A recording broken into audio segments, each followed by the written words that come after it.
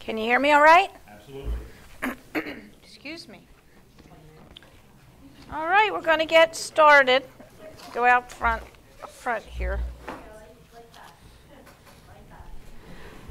Hello, everyone. Hello. Food was delicious. Thank you to everyone that helped in any way. So I'm going to miss this until next year. Uh, so we continue with our devotion series. Again, it's the Witness at the Cross from Amy Jill Levine. She goes by AJ.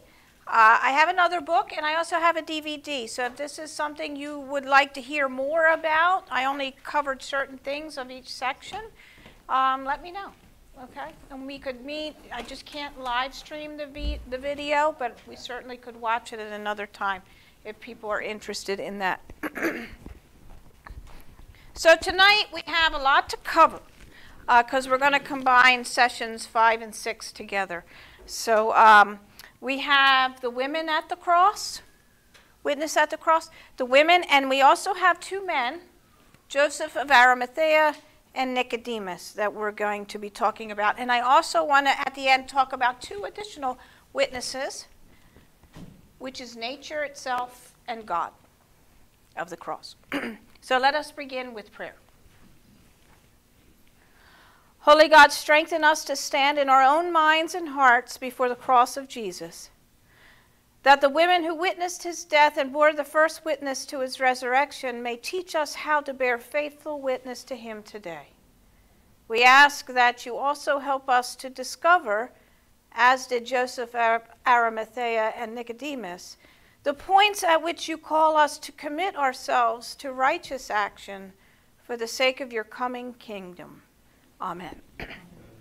So at each table, you will see two visual aids. Those uh, gathering at home with us, Henry is going to put up a first visual aid, and then I guess you could go to the second, Henry. The first being two from um, the French artist Tissot that um, depict the women at the crucifixion.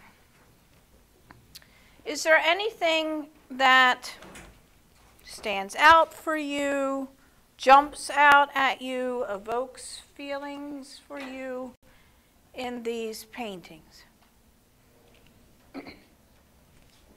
Have you ever really looked at depictions of Jesus being taken down from the cross before?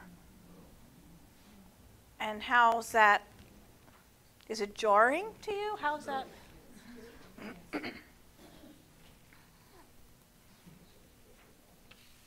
How do you feel about the women in the images? Anything jumping out?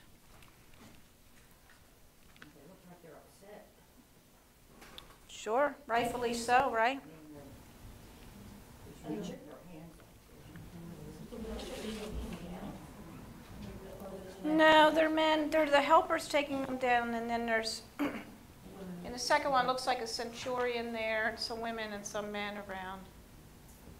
Um, the women look very, very distraught. Do you have any thoughts on who some of the women are? They look like they wanna take him down and care for him. Yeah. Care for him. It's really hard to figure out who the women. I mean, I guess we can figure out from her arms who uh, Mary and Mother of Jesus is. Now I'll have you take a look at the second painting, um, Rubens' painting, the, the Baroque style.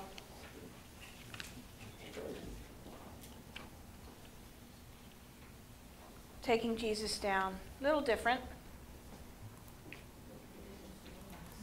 Anything jump out in this one? They Looks like a rougher descent than the other one. Yeah, it's dark, very dark. Dark, isn't it? Nature, nature's making a statement in that one. It was difficult to get them down too. They had to Look at the bowl on the bottom right. That stood out for me. What do you think's in that bowl? Incense and myrrh. No. Was it the wine? Look at it closer. Bread. It's the crown of thorns, Oh. and it's the nails. Yeah. It's hard to see. This is a really big painting. So, um, the beloved disciple we were going to say was John, even though we discussed that one session. That's who is in the red. Is supposed to. This is per the artist. It looks like the sign above the, above cross is in there too. These look like young girls. Oh, is the sign down too? Yeah. Yeah. Yeah, you're right. It's not first. It does. There's some other things there. It's hard to see. And um, on the left, on the ladder, the left side, yeah, that's supposed to be uh, Joseph of Arimathea. In the red robe? Yeah. Not the red on the bottom. That's supposed to be John, the, the beloved disciple. So he's up on the ladder. He's kind of, looks like he's almost got a velourish, reddish gold thing going on with a, a hat. And the beard? Yeah. Yes. And then on the right ladder, that's supposed to be Nicodemus. And then we have Mary, the mother of Jesus, is like trying to touch him and almost. And um, in this, uh, Mary Magdalene is depicted with the blonde hair, and Jesus' foot is on her shoulder. and then that's supposed to be Mary uh, of Clopas next to Mary. Lots of Marys. We talked about that. Common name, Mary. All right. Anything before we move on? So um, let's hear from our first reading, reading number one from Luke chapter 8. Soon afterwards, he went on through cities and villages, proclaiming and bringing the good news of the kingdom of God. The twelve were with him, as well as some women who had been cured of evil spirits and infirmities. Mary, called Magdalene, from whom seven demons had gone out, and Joanna, the wife of Herod's steward, Chuza, and Susanna, and many others who provided for them out of their resources. Who provided for them out of their resources. Right? The women provided for Jesus and his disciples with their own resources. They were the patronages. Do you think this is information that's widely broadcast through the scriptures? No. No. Any guesses on Luke's intent in, mes- in mentioning it? Wasn't it Luke that kind of Luke does mention the women in stories more than the others. Lifting up, that's the question. So, in this particular scripture, what do you think the intent is behind it? Because do you feel like the women, these women that were providing all the resources, feeding them, taking care of them, did they have a voice? In a, no, they didn't. You would think, but they didn't. That was that was um, that's what we call context, right? When we talk about the Bible, you have to peel back the layers like an onion of context to get to the Word of God. That's why we call it the inspired Word of God. but um, let's hear the reader number two. I've lost track. Is that you, Stan? This is from Luke's account, chapter 24 now. Suddenly, two men in dazzling clothes stood beside them. The women were terrified and bowed their faces to the ground, but the men said to them, Why do you search for the living among the dead? He is not here, but he is risen. Remember what he told you when he was still in Galilee, saying that the Son of Man must be delivered into the hands of sinful men and be executed, and on the third day rise up. And they were reminded of his words. And when they returned from the tomb, they all told they told all these things to the eleven and to everyone else. Now it was Miriam from Magdala, Joanna, the Miriam of Jacob, and others together with them who were telling these things to the emissaries.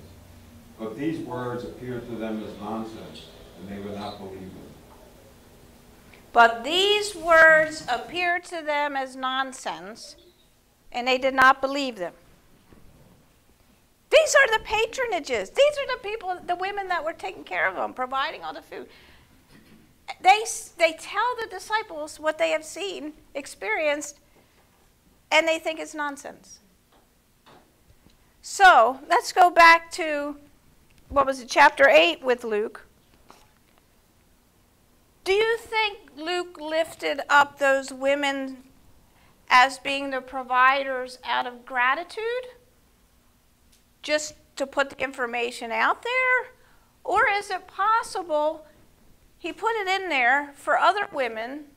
Again, there's just putting questions out there for other women who read the gospel accounts to think, hey, I better do like those women and provide my resources to help the church, even though they didn't have much of a voice in the church. It's hard to know another intent, but it's a valid question. Why put it in there? Are you thanking them? And if you're not, but you're going to disregard what they have to say when they've been so vital in the ministry.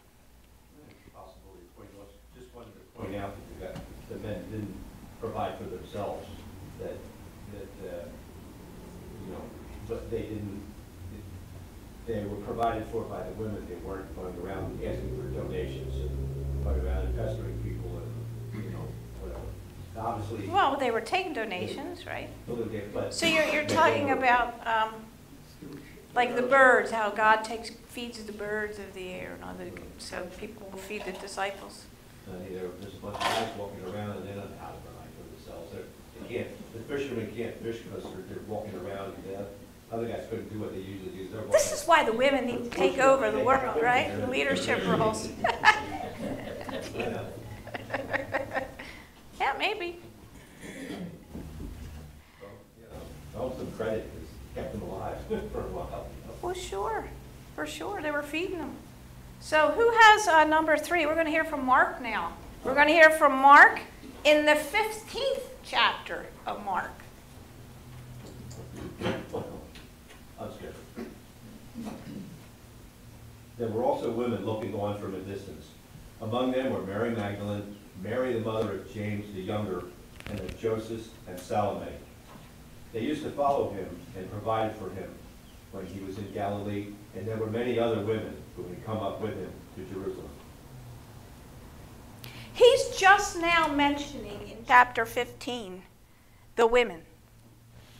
Never mentioned the women were in all the other chapters.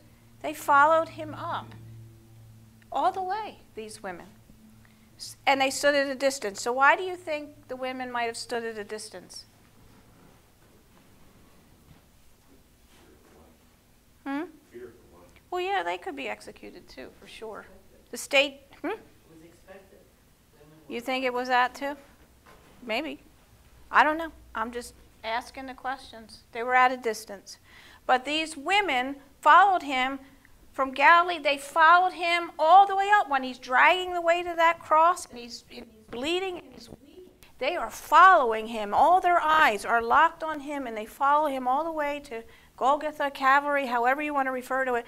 They were there the whole way and they stayed there at a distance, maybe closer, but they stayed there through it all, these women. So, um, John, who's my fourth reader? You, Ken? That would be me. Can you read John's gospel account? Meanwhile, standing near the cross of Jesus were his mother and his mother's sister, Mary, the wife of Clopas, and Mary Magdalene. When Jesus saw his mother and the disciple whom he loved standing beside her, he said to his mother, Woman, here is your son. Then he said to the disciple, Here is your mother. And from that hour the disciple took her into his own home. Jesus calls his mother woman. He's done that before at Cana, from wedding at Cana, if you remember. So, any thoughts on that? Why he might call his mother woman? Maybe to protect her, to not to elevate her, that she would be that much of a part of him? Maybe. He also went, if you think back of the woman at the well, he called her woman. He didn't call her Samaritan. And actually, I wasn't going to talk about, but scholars actually say Jesus actually has referred to multiple women by woman. And they still aren't really sure why that is. They haven't figured that one out yet, but just putting that out there. Um, but here in Luke's account, chapter 23, I'll read this. A great number of the people followed him, and among them were women who were beating their breasts and wailing for him. But Jesus turned to them and said, Daughters of Jerusalem, do not weep for me, but weep for yourselves and for your children. For the days are surely coming they, when they will say, Blessed are the barren, and the wombs that never bore, and the breasts that never nursed. Then they will begin to say to the mountains, Fall on us, and to the hills, Cover us. For if they do this when the wood is green, what will happen when it's dry? So the women, they're, they're wailing. They're so distraught. You see it in that one painting. He's trying to pick them, right? And they're beating their, I won't beat my breast because of the microphone. They're beating their breasts. It's really, you know, when you, also hear in the Bible accounts, what do they do? They tear their garments when they weep. You hear that with Jacob too. They tear it away. So these, again, are the brave women, and they followed him to Calvary, and they have all the eyes on him. Um, So they don't stand out in the gospel accounts. They really don't. And they had such important roles for Jesus. So I want to read for you what AJ writes in her book. Okay, I'm going to quote her on this. The women at the cross have been ignored or reduced to models of simple piety. These women risked their lives for women who were al- for women were also executed by the state. Some risked their marriages or their relationships with their children, right? They're following Jesus. For the gospels as well as Israel's scriptures, women are mothers, but they are also much more. Joanna, Mary Magdalene, Salome, none is identified as a mother. The Bible celebrates marriage and childbirth, but it also celebrates women's religious devotion, patronage, pilgrimage, witness, and a host of other matters not determined by marital status, gender, or sexuality. When Jesus states woman, he is not restricting his conversation partner to a gender role. He is making sure she is noticed. This is what the scholars think. She is noticed. Any comments on that? How are you feeling about the women? They were pretty brave. They were, weren't they? Pretty amazing. They did what they were allowed to do. They weren't supposed to be in front of anything, they had to be behind. They But even distance, still- They can't be close. Very brave. And people can't say the woman can do this, the woman can do do that, because that was against their I thing. know, we didn't have much of a voice back then. They had to be there, it was okay, but be quiet. They weren't they heard. They also knew that what he was doing was important and they believed in it. They paid attention. They to were what- devout, They paid attention to what he was about. Yeah. Can you imagine how they felt? Having cared for this man and just watching that. I just, the injustice of it, of it all, and bearing witness to it. Well, the women are caretakers, right? You, you were brought up like that. Well, now you're generalizing, but I hear you. No, you are. Yeah. Are you going to mansplain me now, Wade? That's always been. It has to be like that. Okay. We're going to move on now to two men. Two men. Joseph of Arimathea and Nicodemus. All right, so all four gospel writers, they mention Joseph of Arimathea.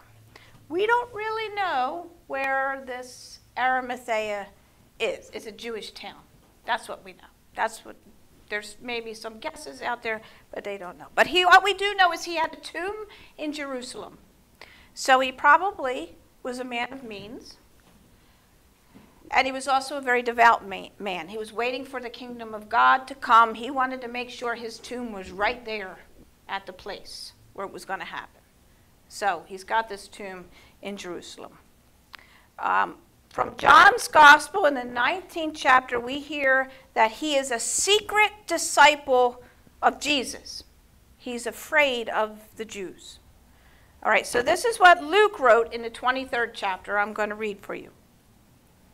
Now there was a good and righteous man named Joseph who, though a member of the council, had not agreed to their plan and action. He came from the Jewish town of Arimathea, and he was waiting expectantly for the kingdom of God. This man went to Pilate and asked for the body of Jesus. Then he took it down, wrapped it in a linen cloth, and laid it in a rock hewn tomb where no one had ever been laid.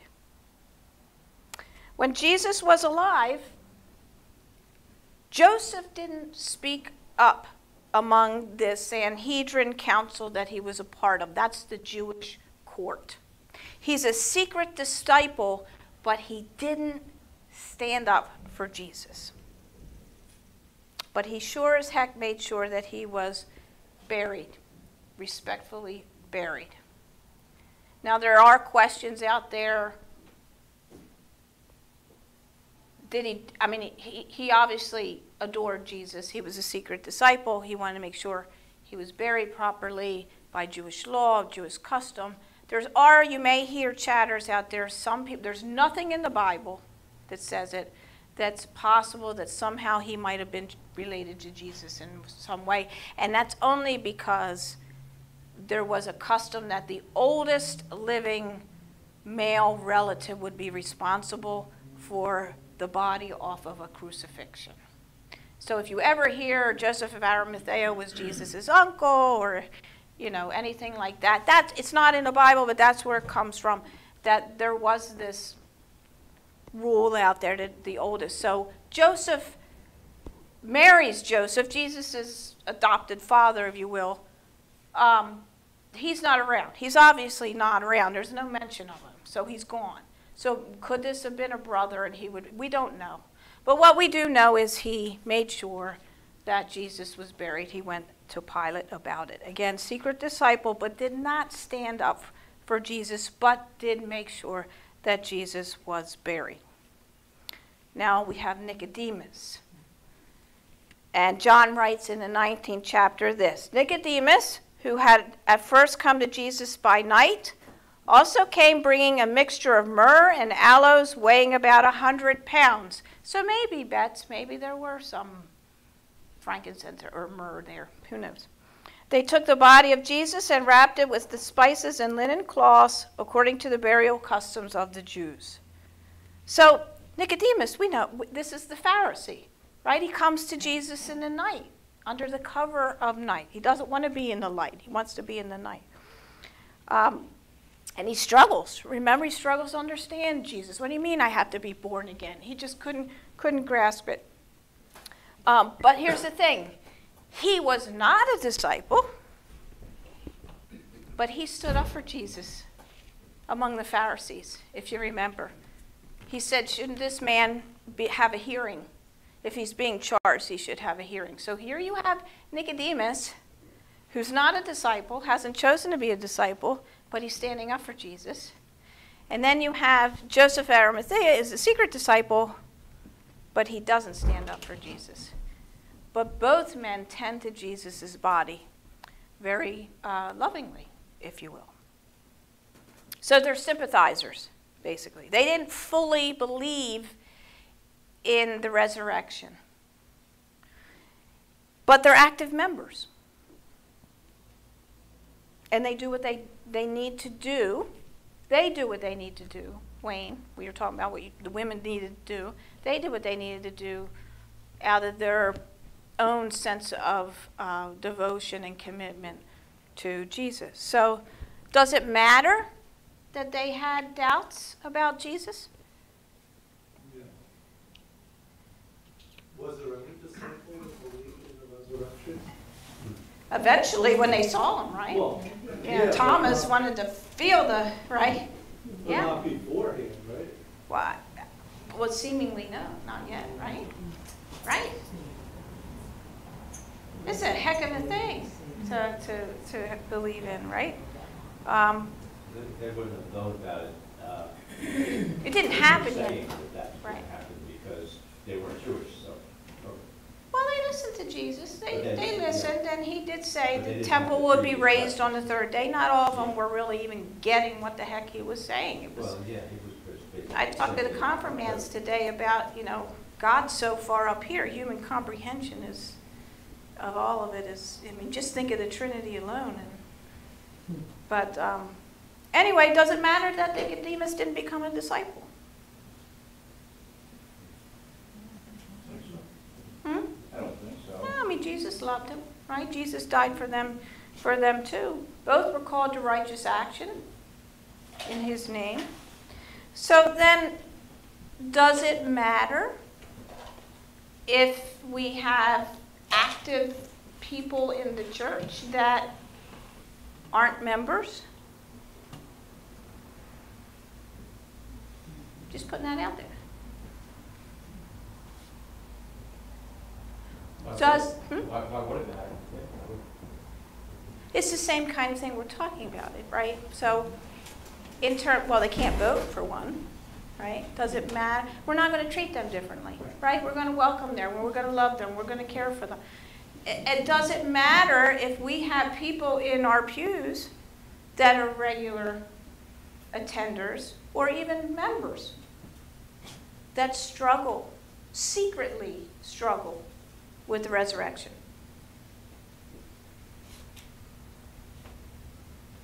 It's a heck of a thing to wrap your head around, right? The disciples needed to see it for themselves.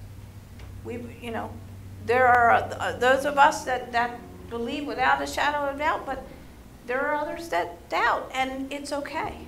Because we talk, also talked today about when you ask questions, the hard questions, that's when faith grows. You grow in faith. So we don't treat the people different, do we? We just love them. And, uh, you know, Jesus cared for everybody, loved everybody, regardless of whether they were a disciple or a secret disciple or stood up for them or didn't. You know, we had disciples that denied Jesus, right? So.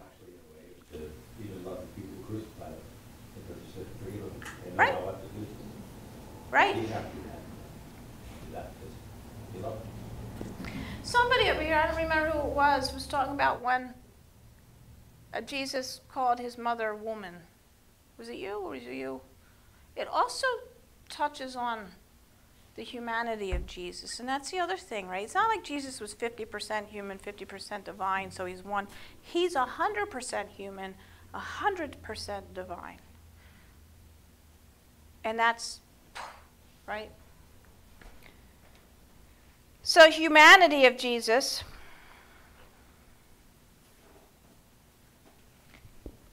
He says from the cross, um, Why have you forsaken me? Right? But here's the thing God didn't forsake Jesus. Why do you think that is? God was there. I mean, as Lutherans, we talk about uh, the theology of the cross, that God's hidden, present but hidden. So that not that heady thing I'm not talking about, but God is there, and God mourns, and nature mourns. Can you think of anything that would have happened that allows us, it enables us to think, yeah, this is true. God mourns, nature mourns. One of the paintings, somebody mentioned. On, on Friday, the, the, the The sky is dark.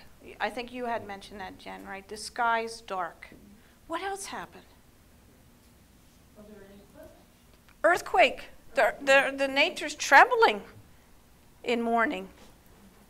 So if you have gods in mourning, let's go back to the women beating their chest or tearing their garments.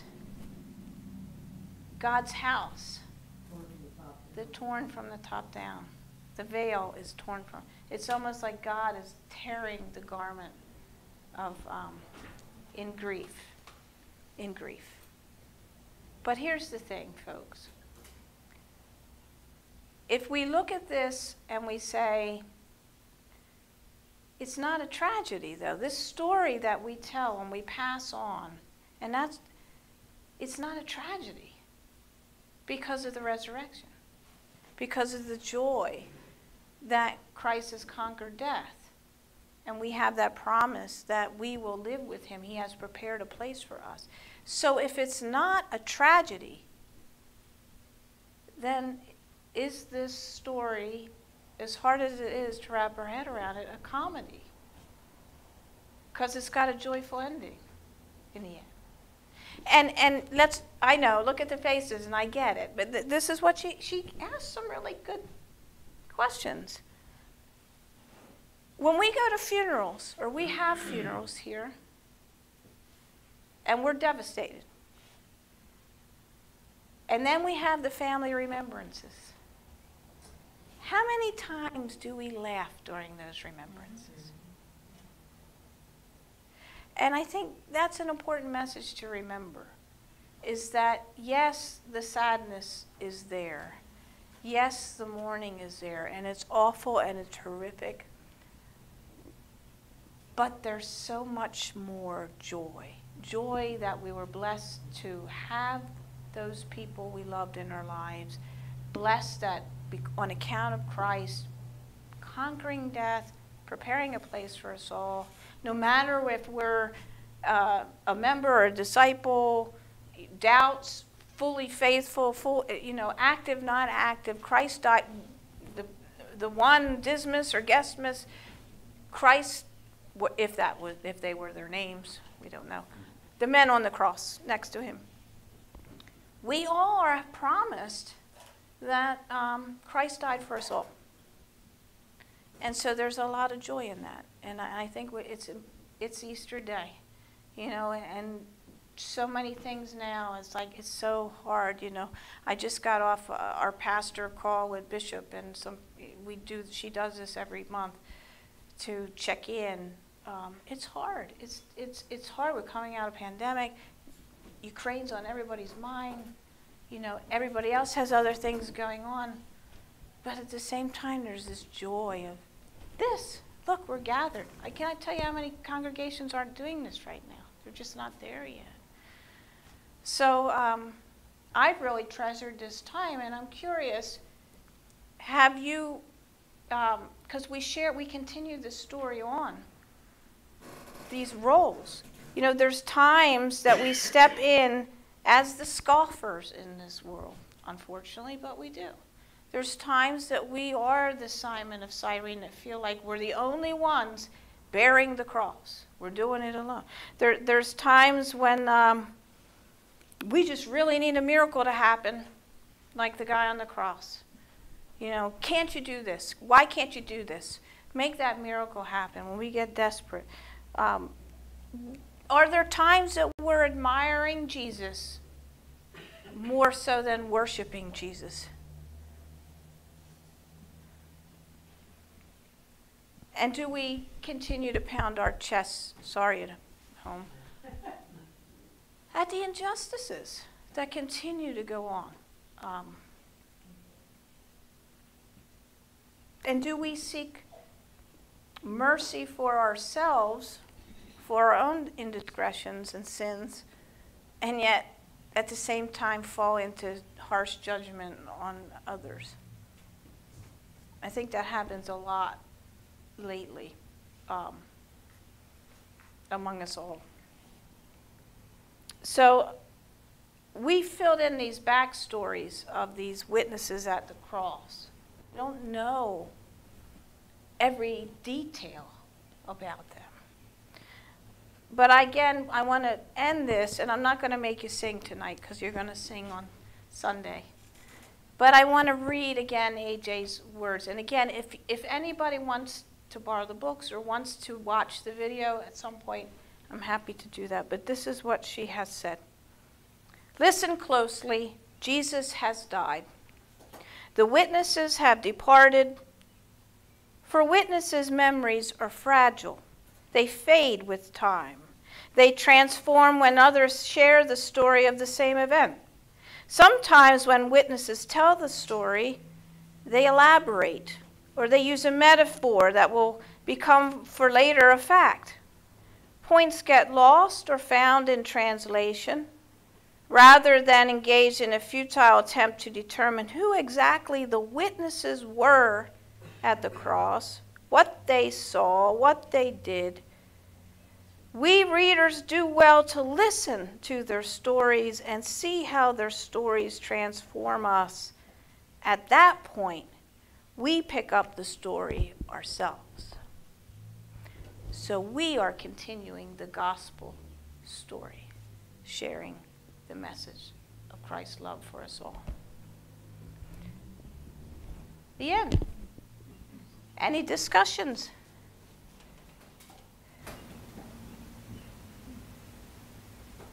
You're so quiet. How did you find the series? Did you like it overall? Yeah. Was it too heavy for a soup supper Lenten series? I thought it was interesting. I mean, I, I myself never really took the time to um, look at the paintings of him being taken down from the cross. Uh, but I guess it's no. There's a, she did. She raised a lot of things that that we don't really take the time. So thank you all for um, being a part of this. And yeah, I've killed a lot of trees, I apologize. And thank you at home. I know a lot of you have chatted, and a number of you like to text me later.